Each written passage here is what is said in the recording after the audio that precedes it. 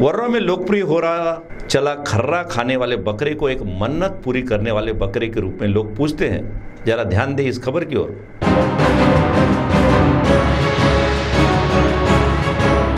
वर्रा शहर में कुछ दिनों पहले हमारे विशेष प्रतिनिधि चेतन लुथड़े ने खर्रा खाने वाले बकरे के बारे में विस्तार पूर्वक जानकारी दी थी।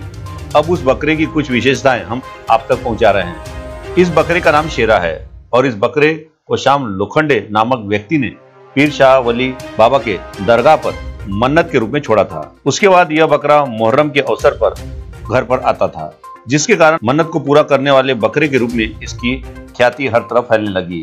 और वहीं इस बकरे को कोई महाराज तो कोई शेरा कहकर बुलाने लगा और कोई भी इस बकरे को बांधता नहीं था। और अब वह आदि शक्ति अम्बा देवी परिसर में घूमते रहता है। उसके बाद रेलवे स्टेशन परिसर से बस स्टॉप तक, मेन रोड तक यह बकरा घूमते रहता है। और परिसर के पांढेलों पर खर्रा खाने के लिए वह नियमित आते रहता है। मगर इस बकरे का कुछ निश्चित समय है और उस वक्त उस स्थान पर वह पहुँच जाता है। उसके घर आने का भी समय तय है। शाम के समय वह दरगाह पर पहुँचता है।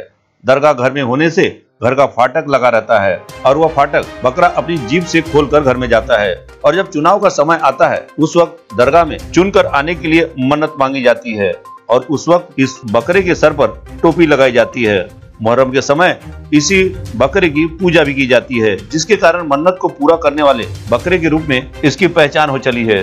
जिस प्रकार इसकी लोकप्रियता खर्रा खाने वाले बकरे के रूप में हर तरफ़ फैली हुई है, उसी प्रकार घर आने पर एक मनुष्य की तरह व्यवस्थित दरवाज़ा खोलना और घर में जाना। वहीं दूसरी ओर किसी शुभ कार्य के समय अगर यह बकरा किसी व्यक्ति को दिखता है तो वह शुभ माना जाता है। और वही कारण है कि लोग हाथ में खरा लेकर इस बकरे की रात देखते रहते हैं। और वहीं इस बकरे के संबंध में हमारे विशेष प्रतिनिधि चेतन लुथड़े ने संबंधित से जानकारी हासिल की और साथ में दरगाह के संबंध में भी उन्होंने पूछा। तो इस संबंध में क्या जानकारी दी? आप स्वयं सुनिए उन्हीं की जुबानी हा दर्ग्याचं नाव पिरशावली म्हणून प्रसिद्ध आहे. खांजीवाडमध्ये हा बघा असं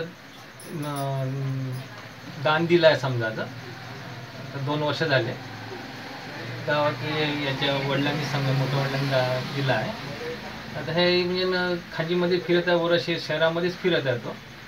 आता देवाचा चमत्कार म्हणा का काय म्हणा तो आता कोणी खरा वगैरे दिला तर खातात. तुम्हाला हे माहीत केव्हा कधी झालं? आता दोन एक महिने झाले तो दोन तीन महिने झाले तो खरा खाता तो दिसतोय मग इकडे येतो का तो? हो येतो इथं घराकडे येतो? हो मग म, घराकडे आल्यानंतर काय म्हणजे अ, पाला खातो की नाही? पाला का आता भूक लागली तर पाला तर खाणारच आहे. आता खरा या निवडून पुरवत राहते खरा खरा दिसला का त्याच्यामागे धावतो तो खरेवाल्याच्याच मागे धावतो त्याचा अ, त्याचे काही अ, म्हणजे असं प्रताप आहे का आजपर्यंत का जे तुम्ही पाहिले आहे? आता मला असं कळलं की न म, न- इलेक्शन आलं किंवा काही आलं तर टोपी घालणं किंवा काही घालणं मन्नत मागणं असं काही. घालतो आता आता